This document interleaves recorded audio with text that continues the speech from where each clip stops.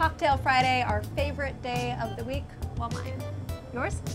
Oh, well, close to mine, yeah. Close it's to one yours. of them. It's one of them. Sean Day's from Velvet, and he makes great cocktails. And today he's going to show us how to make. Today we're gonna make a black, or excuse me, an Oregon black plum sangria. So a sangria can be so many different things, but more or less it's a wine, liquor, citrus concoction together. Okay. So with this one we're gonna use Oregon black plums that we actually get canned. And then we're gonna muddle up some citrus, so we'll throw a lime and lemon in there, a Who couple came of up with limes. this? I would never think to put a plum in a cocktail. Uh, actually, the owner came up with it. Okay. Yeah.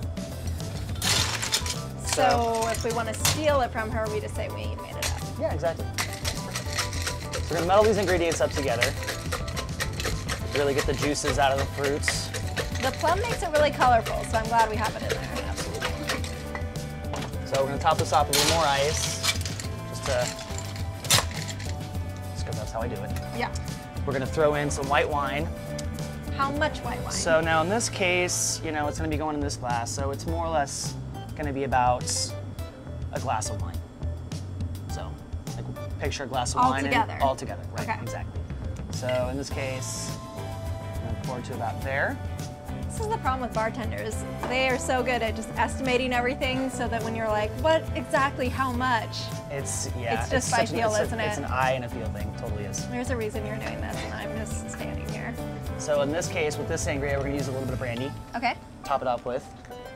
It's a very interesting mix of things. We've got some peach soda here. Could you use any kind of soda, or does it have to be like No, I mean, light, like peach, something For this specific cocktail, we're just any peach flavor Okay. would do, really. So we'll take that, and then where's my mixer? Here it is. I'm gonna shake this one up. How many shakes? Just really want to get it mixed in there, basically. How do you get that like really cool bartender feel? Like, oh, you just like added a little bit of wine. I wish I was that. Shakes. I wish I was that cool. Making So- it look easy. So this is our sangria. This is our sangria, and that's pretty much it. Can you make it with red wine as well? Absolutely. That's actually uh, glad you asked that. So this is kind of a summer cocktail, but you can actually make it with red wine and kind of turn it into a fall cocktail. Oh Maybe add a cinnamon stick to it. Really good. Can you have sangria warm? Well- question. No. I, I mean, you can. I don't know if Should you you? want to, probably. No. Okay, well this is really good. So I guess we'll keep it cold. Again, tell me though what's in this one so people at home can So this it. one again is the uh, Oregon Black Plums.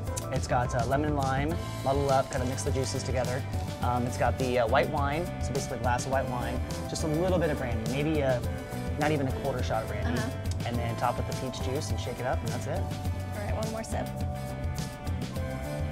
Yep, still good. Awesome. All right, try it at home.